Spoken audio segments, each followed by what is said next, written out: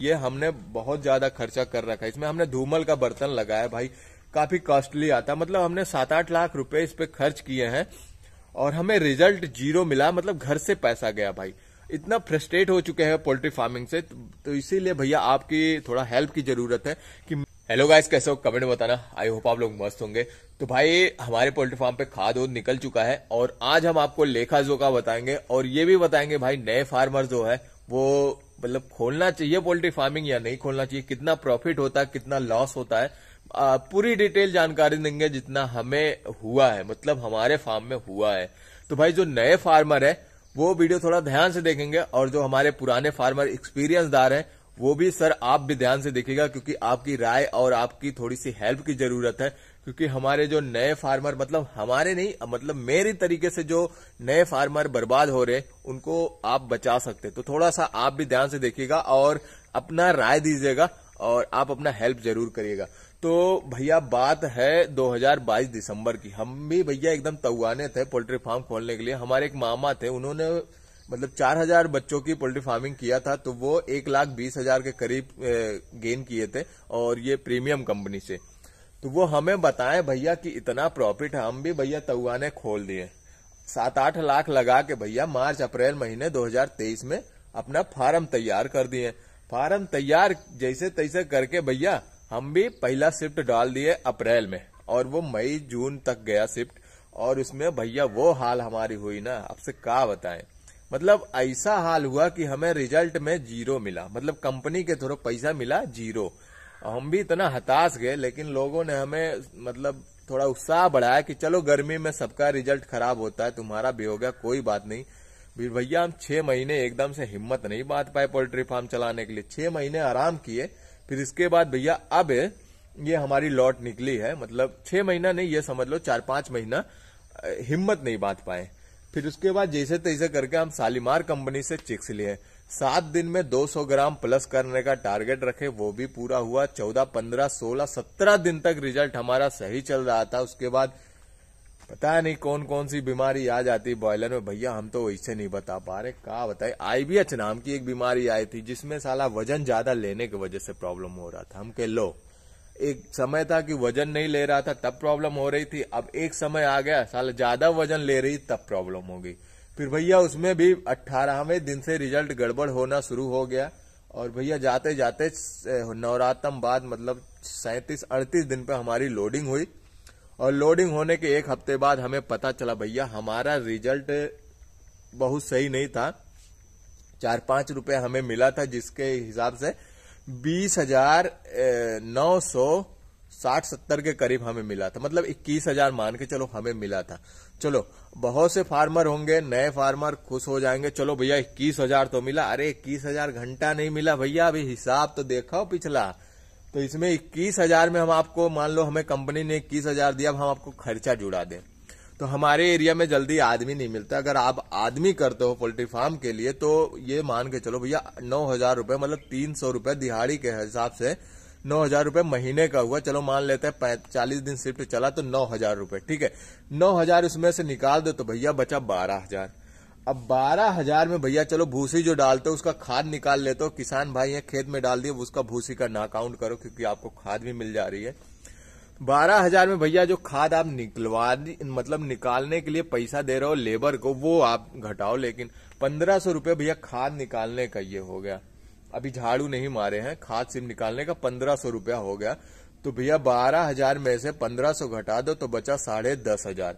साढ़े दस हज़ार में भैया देख लो, हमें आईबीएच मतलब यहाँ बीमारी आई थी तो पाँच हज़ार की तो हमारी पालिश खिलवा दिए थे।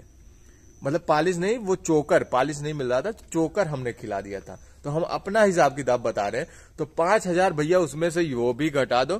तो मतलब साढ़े दस में से पाँच घटा दो तो भैया आपका बच गया साढ़े पाँच। मतलब साढ़े पाँच हज़ार रुपए अभी बचा है। अभी कहानी और भी है भैया, अभी इतने नहीं। अब इसके बाद आप भैया दवाई मान के चलो, मेरे में वैसे ज़्यादा दवाई लगा था तो आप दो हज़ार की, दो ढाई हज़ार की दवाई मान लो। तो क्योंकि भैया एक हज़ार का तो सीधे लीवर टॉनिक पाँच लीटर का लग गया था तो वो घटा दो तो बचा साढ़े चार हज़ार। साढ़े चार हज़ार में आप मान लो डेढ़ हज़ार की दवाई निकाल दो बता तीन हज़ार। तीन हज़ार रुपए में भैया बिजली का बिल अगर आप निकाल दो, कुछ नहीं तो कॉमर्शियल कनेक्शन होता पोल्ट्री फार्म का, और लाइट ज़्यादा चलता है तो बिल भी ज़्यादा उठता है समर सेबुल चलता है तो दो हज़ार रुपए आप बिल का मान दो। दो हज़ार मान लो बिल का तो उसके बाद बचा मेरे ख्याल से तीन हज़ार था, एक हज़ार रुपए। अब एक हज़ार रुपए में भैया, हम आपको क्या बताएँ? लिफ्टिंग जब कराते हैं ना तो लिफ्टिंग का भी मतलब बारह सौ रुपया खर्चा आता है। तीन तीन चार, तीन लेबर थे मेरे यहाँ, तीन चौक बारह। नहीं, चार लेबर थे और तीन सौ रुपए के हिसाब से चार तिहाई बारह। बारह सौ रुपए वो निकाल दो मतलब दो सौ रुपए हम अंदर से जा रहे हैं। तो ये हाल है भाई पोल्ट्री फ़ार्मिंग का। बाकी अब क्या बताए आपको? मतलब हम जितना पैसा लगाए थे ना, उसमें से हमें एको पैसा मिला नहीं। पहले में तो घुस गए दूसरे में भी जान लो, दो चार सौ रुपया घुस ही रहे हैं। तो ये हाल हो गई बॉयलर में भैया। अब इसीलिए भैया ये हम दो लॉट चलाने के बाद अब हमारी औकात नहीं हो रही है और हम ये फार्म जो साफ़ करवा रहे हैं ना, अब इसमें हम देसी डालने वाले देसी ट्राई करेंगे। अगर ठीक हुआ तो ठीक है, नहीं तो भैया फार्म साम बंद करके संन्यास ले लेंगे। वैसे हमें ज़्यादा कष्ट नहीं हो रहा क्योंकि हम पार्ट टाइम इसको किए थे, एक साइड बिज़नेस के रूप में, और ना ही हमारी इससे रोजी रोटी चल रही है और ना ही इससे हमारा खर्चा चल रहा है। तो इसीलिए हमें थोड़ा कम कष्ट हो रहा है लेकिन हमारे कुछ ऐसे भाई हैं जो बेरोजगारी में मतलब कुछ पैसा अपना इन्वेस्ट करते हैं अपना जमा पूंजी या फिर लोन लेके फार्म बनाते हैं। और जब सपोज़ um, दैट मैं भी अगर ऐसे ही होता लोन लेके या जमा पूंजी कहीं से उधार लेके फार्म बनाया होता और हमें प्रॉफिट ना होती तो भाई हम पे क्या गुजरती? तो ऐसा हमारे कुछ भाई हैं जो ये काम करते हैं और प्रॉफिट नहीं होती। कंपनी के तरफ़ फ़ार्मिंग करते हैं, नहीं रिज़ल्ट जाता, जानकारी नहीं हो पाने की वजह से रिज़ल्ट नहीं जाता। मैं ऐसा भी नहीं कह रहा हूँ कि भाई रिज़ल्ट नहीं अच्छा जाता। बहुत से हमारे एक्सपीरियंस किसान हैं जो बहुत अच्छे, बहुत साल से फ़ार्मिंग कर रहे हैं, अच्छी खासी आमदनी भी लेते हैं। तो भाई, उनको एक्सपीरियंस है, उनको नॉलेज है, इसलिए ले पाते हैं, और जो नए हैं, उनको ना नॉलेज होने की वजह से हमारी तरह चुतियाफे में चले जाते हैं। तो ऐसे किसान भाई, इस चक्कर में ना फंसे। इसलिए जो एक्सपीरियंसदार हमारे किसान भाई वीडियो देख रहे हैं, वो मैं आपको एक नंबर शेयर कर रहा हूँ। इस पर सिर्फ़ आप व्हाट्सएप करिएगा, अपना नंबर और एड्रेस डिटेल व्हाट्सएप करिएगा। मैं आपसे थोड़ा सा जानकारी लूँगा मतलब वीडियो के थ्रू आपसे कुछ जानकारी लूँगा, जिनको लगता है कि मुझे इस फ़ील्ड में नॉलेज है, मैं अपने नॉलेज को शेयर करके बाकी किसान भाइयों की हेल्प कर सकता हूँ। तो अगर आप हेल्प करना चाहते हैं तो आप हमें इस नंबर पर डिटेल शेयर करिएगा व्हाट्सएप सिप करिएगा, इक्यासी बयासी तिरासी निन्यानवे बानवे, इक्यासी बयासी तिरासी निन्यानवे बानवे, इस नंबर पे आप हमें डिटेल शेयर करिएगा, हम आपके पास आके वीडियो शूट करेंगे, ताकि हमारे नए फार्मर को ये पता चल पाए, भाई फ़ार्मिंग में आना ठीक है कि नहीं ठीक है अगर आते भी हैं तो हमें कैसे मैनेजमेंट करना ये सारी जानकारी मिल पाए भाई क्योंकि हम भुक्त भोगी भाई आपके सामने आप अपना फार्म दिखा दें। ऐसा नहीं कि हम ये कर रहे हैं कि वीडियो बनाने के चक्कर में।